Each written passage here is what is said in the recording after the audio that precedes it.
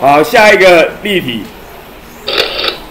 加热小苏打粉，要产生二十克二氧化碳，需要分解多少摩尔的小苏打？第一步，写出化学反应方程式，并且平衡。小苏打是谁啊？碳酸氢钠，加热分解，产生碳酸钠加水跟二氧化碳。方程式，这写这之前写过这方这方程式之前写过了。好，第一步写方程式并且平衡。第二步做什么？已知跟所求换成末。已知谁？产生二十二克二氧化碳。求谁？小苏打几末？给的是质量，怎么换末？错，不是分子数，原子数是什么？原子量分子量除二氧化碳分子量四十四，所以除九 x 末不用换嘛，x 末不用换，x 末不用换。好，第三步做什么？你有末了，对不对？要把它带到关系里去，就要带到末关系里去。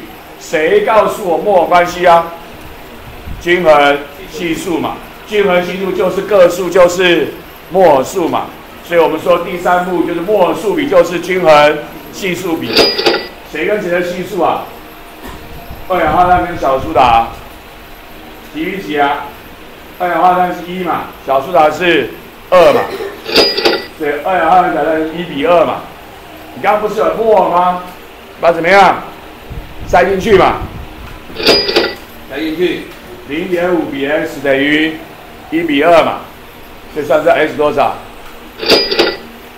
？x 多一末，所以算它是需要一末，就这样，很简单吧？很容易吧？再说第 n 加一遍，第一步写方程式并且平衡，大部分题目都不用做。像这种哈，给了不给的题目非常少。像这种给了不给的题目非常少。那还有一个题目是给了方程式没平衡，这也很少。好，第一步给写出方程式并且平衡。第二步，把已知条件跟所求都换成谁？